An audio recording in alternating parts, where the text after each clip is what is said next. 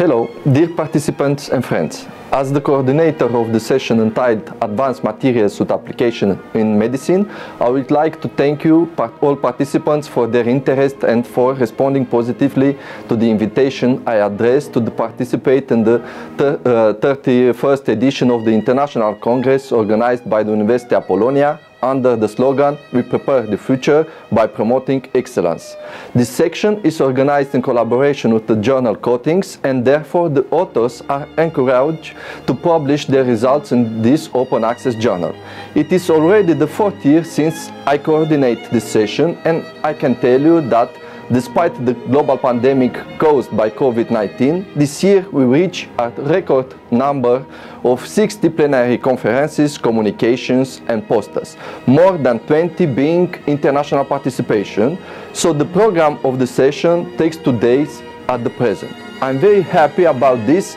but instead I am disappointed that we cannot see and hear each other face to face. I would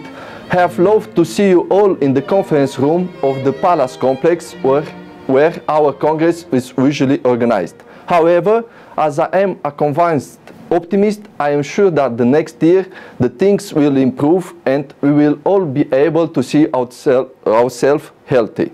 The oral lecture that we will hear in these two days of the Congress address current topics of great interest in the field of materials with biomedical applications and therefore the start of the first session I give the floor to the coordinator of the research activity at the Apollonia University, Professor Marcel Popa, in order to open the first session of this section.